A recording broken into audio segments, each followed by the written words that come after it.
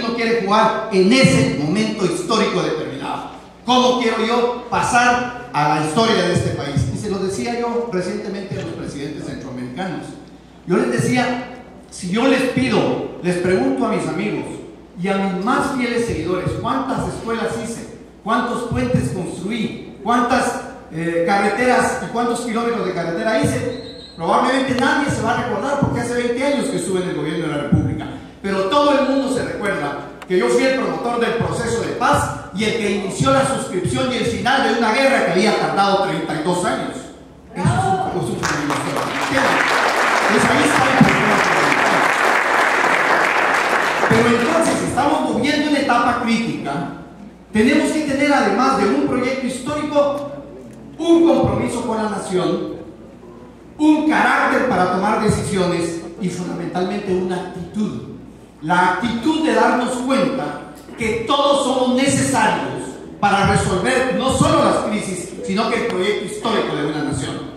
Entonces uno no puede llegar al gobierno desarrollando una cultura de destrucción de la oposición, de destrucción de la empresa privada, de destrucción del ejército, de destrucción de las estructuras establecidas, sino que todo lo contrario. Tiene que hacer propuestas concretas para que todo el mundo se vuelva en la búsqueda del objetivo fundamental la grandeza nacional. La grandeza nacional, porque la grandeza nacional es lo que va a llevar a la solución de todos los problemas y a las crisis que nos vamos encontrando. Ahí está el tema fundamental. Es una actitud. Miren ustedes la vida diaria de este, de Guatemala, de El Salvador y de todos lados del mundo. La oposición se dedica sistemáticamente a criticar y a destruir todas las políticas del gobierno de turno. Incluso criticar los constantes viajes del presidente anterior. Pasó en Guatemala y está pasando ahora en Panamá.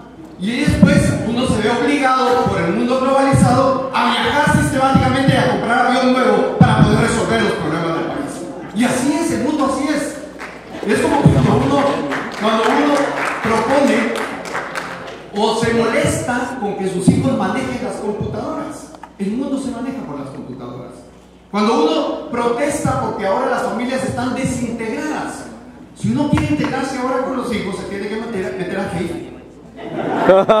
y ver ahí las fotografías, las relaciones y las fiestas que tienen los hijos para poder estar platicando con ellos, porque ellos no se van a comunicar con uno, ¿me entienden? Ese es el mundo moderno. Por lo tanto, lo fundamental es tener un compromiso histórico con la nación. Y eso obliga a un compromiso histórico con todos los sectores.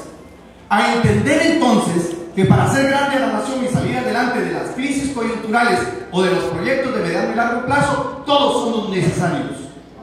Y en tercer lugar, por lo tanto, una actitud comprensiva de que en cada momento tenemos que ir proponiendo y desarrollando políticas de Estado entendiendo por, como políticas de Estado aquellas políticas que en la cual el 90% de los sectores de la sociedad y de las personas van a estar absolutamente de acuerdo. La seguridad, la paz, el crecimiento económico, el crecimiento con equidad, el desarrollo social con equidad, la cohesión social, todas esas políticas en las que nadie puede estar en desacuerdo, porque estar en desacuerdo implica salirse del proceso histórico que se está viviendo. Y por último, yo diría con toda franqueza que la, manera concreta de enfrentar la crisis es definitivamente tener un buen equipo.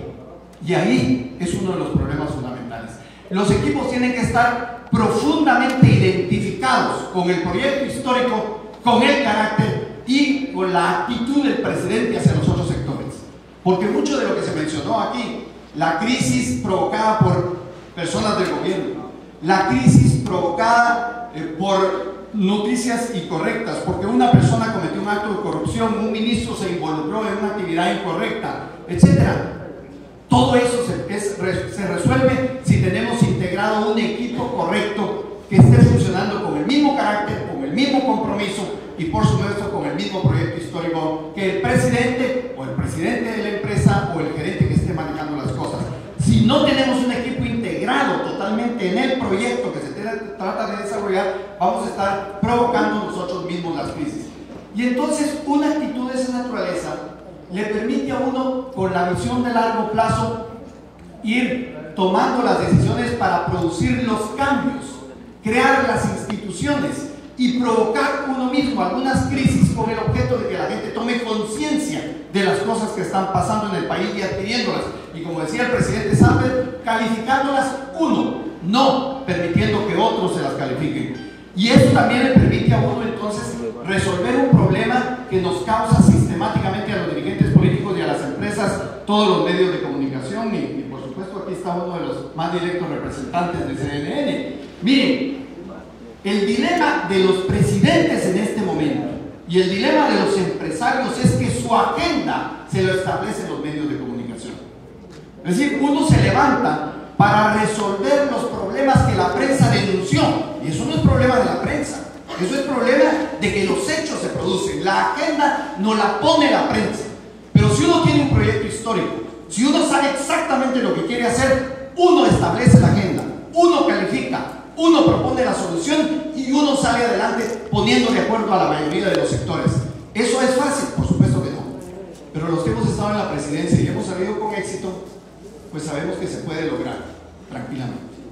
Muchas gracias.